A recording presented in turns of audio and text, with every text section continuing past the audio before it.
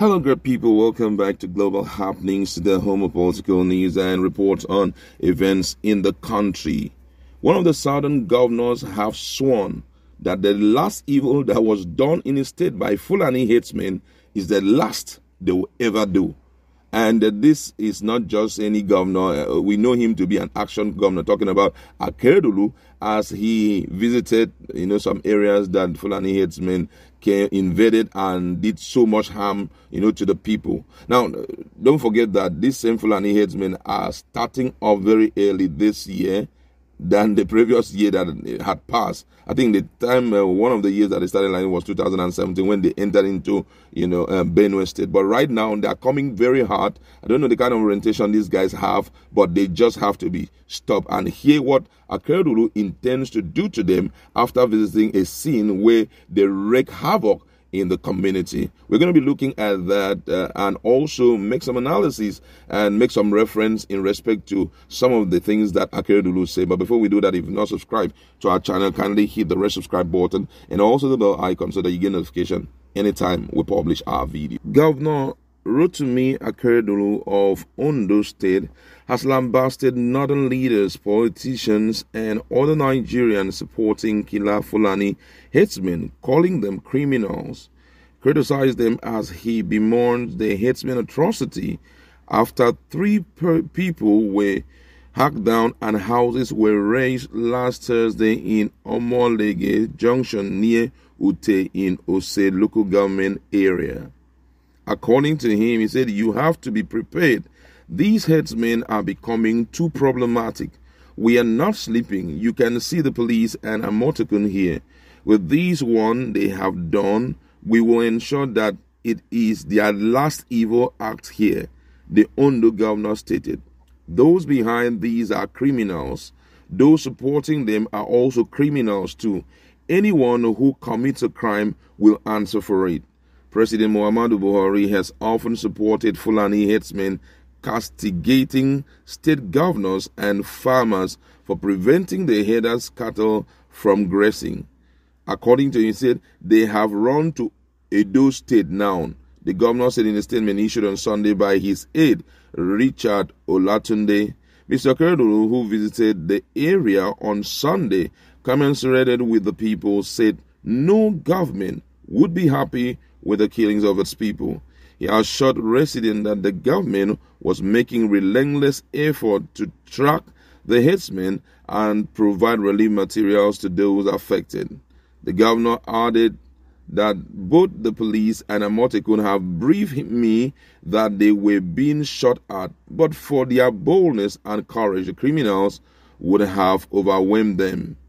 The Akaribu of Ute, Felix Olabode, narrated that the UGM killed people and returned to razing buildings 30 minutes after police visited the area.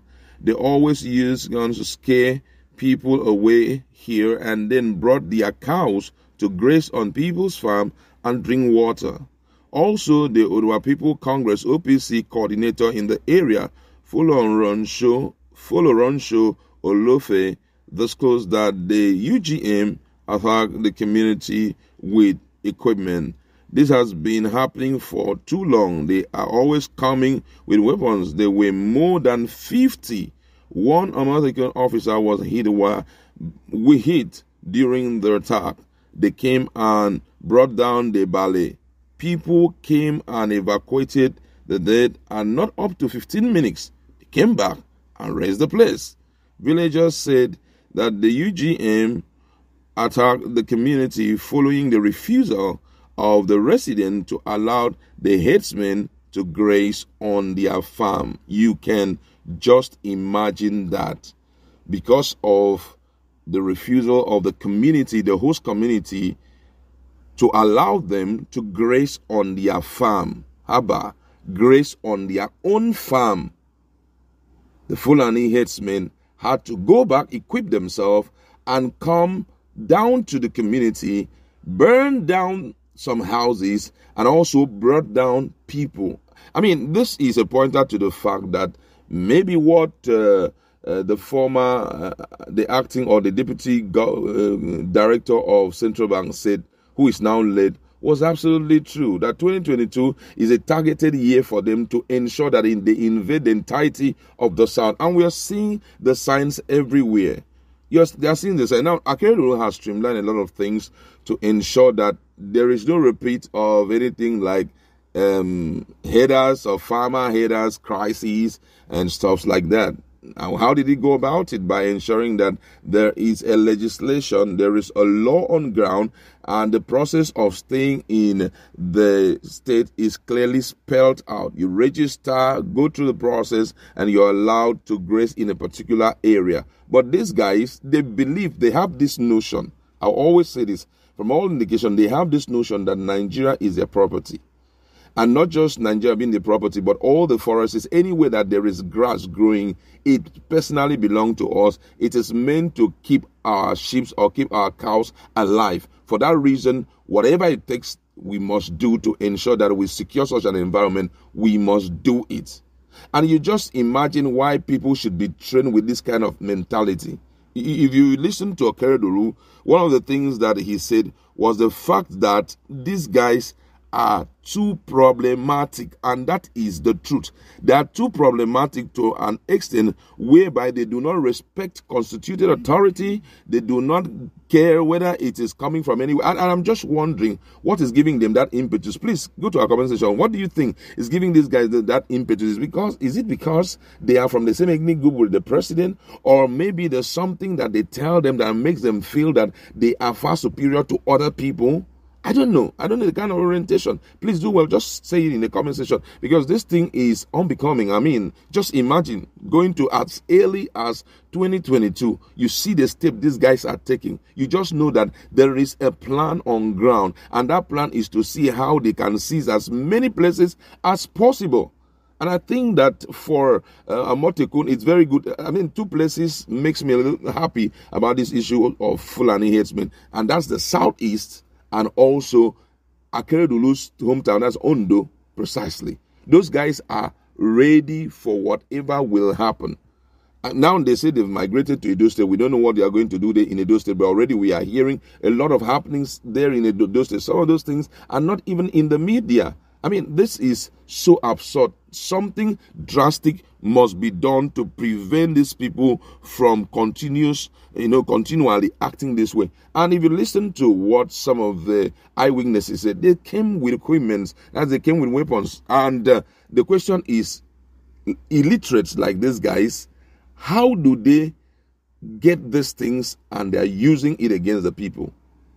It therefore means there is an invisible hand providing them these stuffs and giving them that courage to go ahead and bring trouble to Nigerians.